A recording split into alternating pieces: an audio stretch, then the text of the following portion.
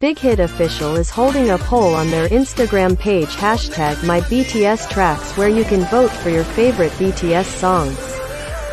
The final rounds of this poll is ongoing where we are literally seeing a fierce competition between the favorites of all time. It's competition between their all-time hit song BST and Louder Than Bomb.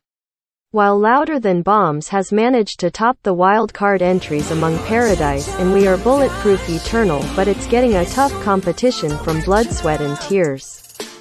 Eagerly waiting for a live performance on Louder Than Bombs, we have seen BTS reaction to this on various occasions.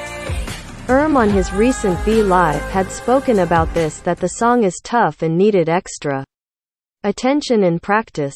While Jungkook had once revealed that if fans wanted this to happen then they can obviously fulfill to it someday. We can predict that the day isn't that far and we get it.